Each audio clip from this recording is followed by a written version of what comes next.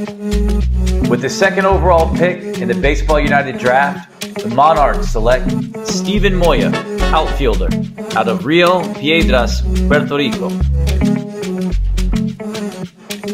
Fire, fire, fire, fire.